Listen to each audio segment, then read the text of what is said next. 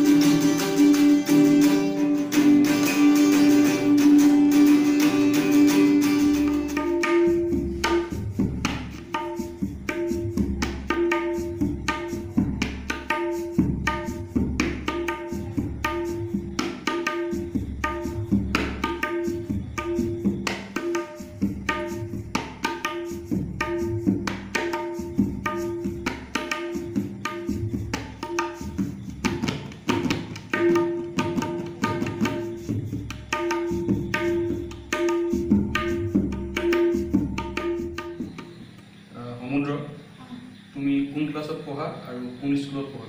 মই ক্লাছ থ্ৰীত পঢ়োঁ আৰু লিটিল ষ্টাৰ হাইস্কুলত পঢ়োঁ। আহ, তুমি যে এই যে বাদ্যযন্ত্ৰবিলাক যে বজোৱা আৰু গান যে গোৱা তুমি কিমান দিনৰ পৰা তুমি আৰম্ভ কৰিছা এইবিলাক গাবলৈ বা বজাবলৈ? খুব বেছি ছয় মাহ। ছয় মাহ। আহ, এইবিলাক তুমি বজাবলৈ কাৰ পৰা কাৰ ওচৰত শিকিছা তুমি? মই গানটো শিকিছোঁ দীপমালা মিছৰ পৰা। নেগেৰাটো মই খুৰীহঁতি যেতিয়া বজাই থাকে শিকি থাকে তাৰ পৰাই মই শিকিলোঁ। আৰু এইবিলাক তাবলা গীটাৰ। সেইবোৰ মই শিকিছোঁ। ক'ত শিকিছা? তাবলাটো লাটু ছাৰৰ ওচৰত। শিকিছোঁ। আৰু গীটাৰ মই সীমান্ত ছাৰৰ ওচৰত শিকিছোঁ। আৰু এটা কথা যদি এতিয়া ধৰা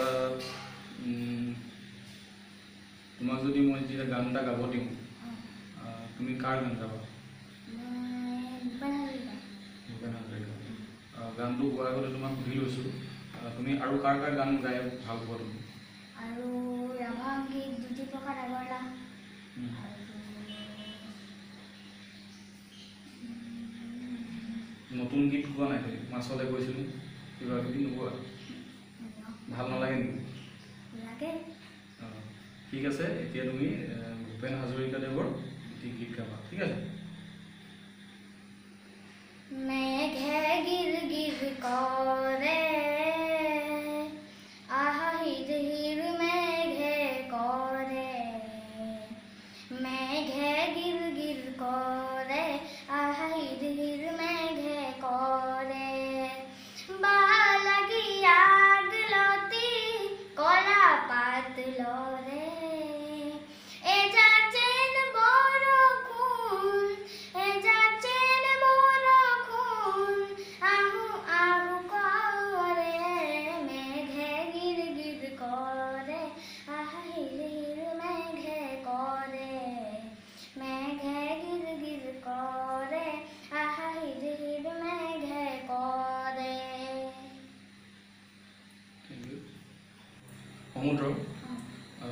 ডাঙৰ হৈ কি হ'ব বিচাৰিবা? মই ডক্তৰ হ'ব বিচাৰিছোঁ। ডক্তৰ আহ, তুমি যেনিবা ডক্তৰ হৈ গ'লা ঠিক আছে তুমি ডাঙৰ হ'লে যেনিবা ডক্তৰ হৈ গ'লা। ডক্তৰ হোৱাৰ উপৰিও তুমি যেতিয়া ইমান সৰুৰ পৰা তুমি বাদ্যযন্ত্ৰ বজোৱা তুমি গীত গোৱা যদি তুমি যদি অসমৰ এজন যদি ভাল গায়ক হৈ যোৱা তেতিয়া তুমি কাৰ দৰে হ'ব বিচাৰিবা? ভূপেন হাজৰিকাৰ দৰে। ভূপেন হাজৰিকাৰ দৰে। ঠিক আছে তো এইবাৰ আমি তোমাৰ পৰা দুটামান গীত শুনিব বিচাৰিম। তুমি কি গাবা প্ৰথমতে? মই এটা বৰগীত গাম। বৰগীত ঠিক আছে। জয় জয়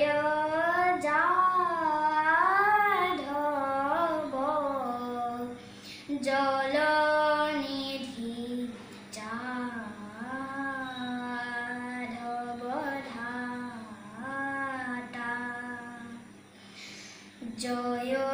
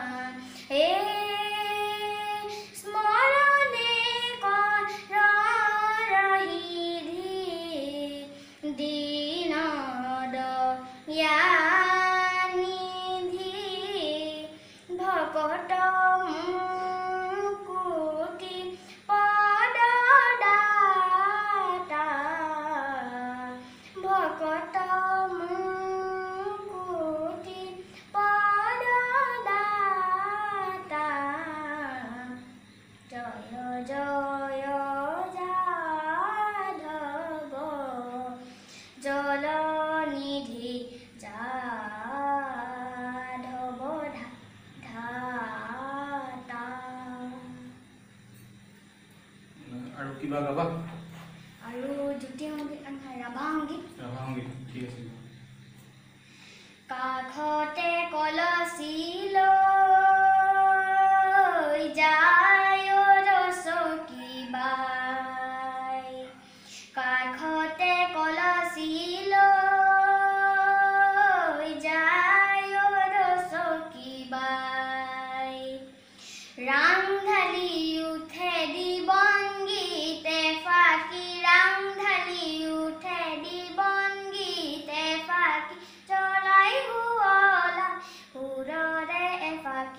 কাষৰে ফুলনি উজ্বলাই ৰচকী বাই যায় ৰচকী বাই যায় ৰচকী বাই। আহ, তো দৰ্শকসকল আপোনালোকে দেখিলে এটি ন বছৰীয়া কণমানি ইমান ধুনীয়াকৈ যিবিলাক আমাৰ থলুৱা বাদ্যযন্ত্ৰ আছে সেইবিলাকৰ লগতে তেওঁ কণ্ঠ কিমান সুন্দৰ। ভিডিঅ'টো চোৱাৰ বাবে যথেষ্ট আপোনালোকক ধন্যবাদ জ্ঞাপন কৰিছোঁ। আৰু যদি আমাৰ চেনেলটো ছাবস্ক্ৰাইব কৰা নাই ছাবস্ক্ৰাইব কৰি ল'ব বেল আইকনটো দবাই ল'ব। আৰু এনেকুৱা ধৰণৰ ভিডিঅ'বিলাক ভৱিষ্যতে পাবৰ বাবে।